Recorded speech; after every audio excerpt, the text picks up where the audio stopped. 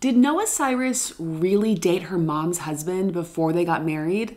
Plus, a reality TV star is pregnant, and Taylor Swift may have poetry in her blood.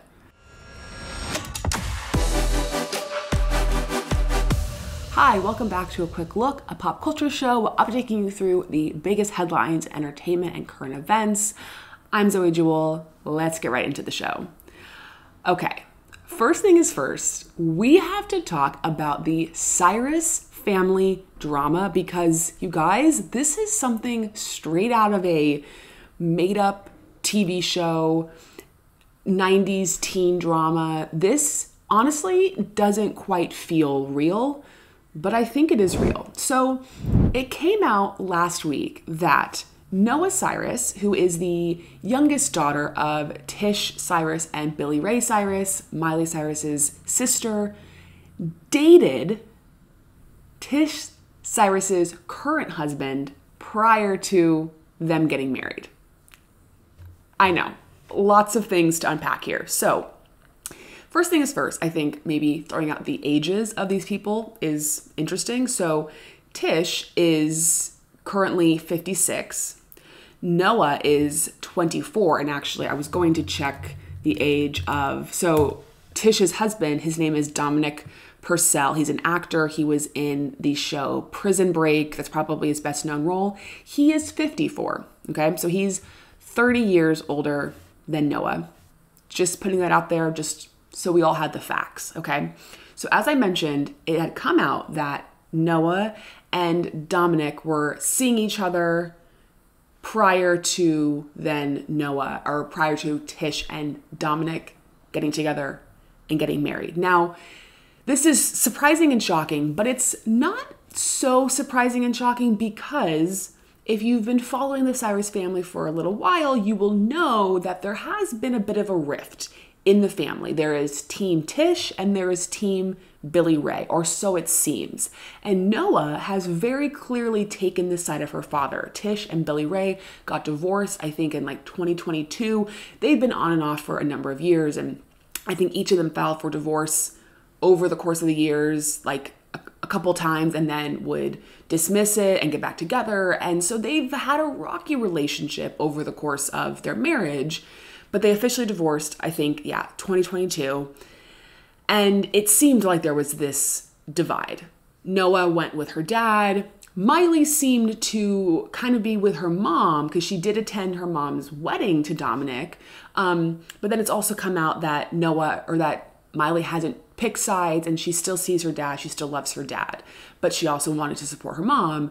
And then Brandi Cyrus, the oldest sister, is Team Tish. Okay, so there was already this divide, and people just kind of assumed, I think, that this divide was just because the parents got divorced. And if you know anyone who's gotten divorced, if you're a child of divorce, you know that sometimes it's natural for kids to choose one parent over the other.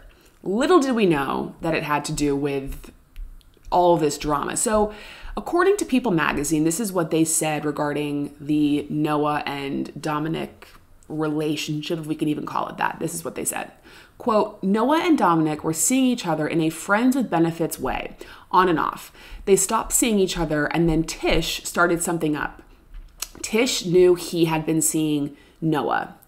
They also continued to say Tish never gave Noah the chance to talk about all of this before they got married. Yikes. Now, Tish and Dominic got married in April 2023, so almost a year ago this is very, I mean, first of all, I can't even imagine my mother marrying somebody that I've spent time with and I mean dated or whatever. Yikes. But the fact that Tish knew about it and didn't even talk to Noah, allegedly, reportedly, um, that's also another yikes. Now, it has also come out that Miley had no idea about this situation. She did not know uh, all this drama surrounding Noah, Tish, and Dominic, which is a little bit hard to believe, seeing that Tish is her mother and Noah is her sister. Like it seems like something she would know, but this is what a source told people about Miley Cyrus's part in all of this. Quote, Miley had no idea about the drama with Dominic, no idea at all. Um, and then they went on to say that um, she confronted her mom about it. She thinks it's a strange situation, but she loves her mom and wants her to be happy. Again, like, yikes. Just, I don't know. This, I feel like I wish this is a time in which, in which I wish the Cyrus family had a reality TV show. Like, this is something that the Kardashians could only dream of having in their family, right? I don't think it's ever going to happen, but imagine if the, if cameras were rolling while this was unfolding. I don't necessarily I feel bad that this drama is unfolding in the public eye, but this is made for reality TV, this kind of drama. Very curious to see how this transpires. Very curious to see if this affects Tish and Dominic's marriage, what does this mean for Miley and her mom and Noah and the family, and a lot of drama. Very curious to know what you guys think, how you feel about the situation, because I, in this scenario, I'm sort of, I'm team Noah. Like, I can understand the frustration um, and just kind of the, it's just kind of weird. It's just weird all around. Okay, moving on to some happier news. Lala Kent, Vanderpump Rules star, is pregnant with her second child. Lala Kent, if you're a reality TV fan, a Vanderpump Rules fan, I mean, she's an icon. And she is having her second baby as a single mother. So, if you've been following Vanderpump Rules, if you know anything about the show or Lala specifically, you know that she was in a long relationship with her ex, Randall Emmett. They had a daughter together, Ocean, who's about to turn three years old. Then they had a very messy breakup. Randall has essentially been canceled. Um, but Lala has been very open since having Ocean and since her breakup of wanting to still expand her family and have a child on her own, um, despite the fact that she is single. So she posted on Instagram saying, I'm expanding my pod with a little photo of her stomach and her daughter looking at her belly. Very sweet.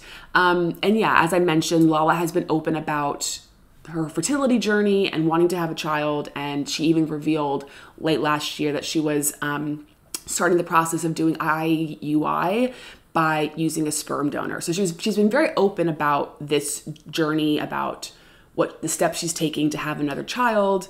And honestly, I'm really happy for Lala. I personally love Lala. I know it's a controversial opinion. Some people love her, some people hate her, but I've always really liked her. And I think it's also really cool and inspiring to see a woman choose to go down this path despite not having a partner. Um, and I think it's it's a great example to set for maybe other women out there who don't have a partner but want to have kids to show that hey, you can do it too. Now I know Lala is rich and wealthy and has help and support around her, which definitely makes having a child on your own easier, but it's still it's still great to see. Okay, our final story of the day Something that honestly kind of shocked me, though maybe it shouldn't have shocked me, and maybe I'm reading too much into it, honestly, but is Taylor Swift related to Emily Dickinson? It turns out she is. So I've always believed, and anyone who is a Taylor Swift fan, you know, believes she's a poet. She really has a way with words. That is her skill set. That is the, she's not the best singer dancer performer right? I think we can acknowledge that. But her her strongest skill is her writing ability her ability to just turn i don't know just poetry into the best music ever. But it seems like that might run in the family because taylor and emily dickinson are six cousins sixth cousins three times removed. I know that's kind of a lot. And that's you know many generations down the line but they're related nonetheless. So this is what ancestry um, had to say about the Taylor and Emily Dickinson family connection. Swift and Dickinson both des- both descended from a 17th century English immigrant. Swift's ninth great grandfather and Dickinson's sixth great grandfather, who was an early settler of Windsor, Connecticut. Taylor Swift's ancestors remained in, Con- in, Connecticut for six generations until her part of the family eventually settled in northwestern Pennsylvania, where they married into the Swift family line. So there you have it. They're both descendants of Connecticut. I mean, let's be honest. I think probably a majority of us are connected and cousins in some way, shape, or form. But it, it, it is still pretty cool. And I bet Taylor Swift, I don't know if she knew this, but I bet if she's now seeing this and reading this news, she's probably like, that's pretty cool. That's that's pretty fun that I'm related to somebody who is known for being one of, if not the best poets of all time, honestly. All right, guys, that is today's show. A lot to unpack today. I would love to know, to know all your thoughts, especially about the Cyrus family drama, just what you think is transpiring there, anything else that you're thinking of, thoughts, feelings, concerns. Put them in the comments. As always, make sure to subscribe to our channel, follow us on social media, and we'll see you guys next time. Bye.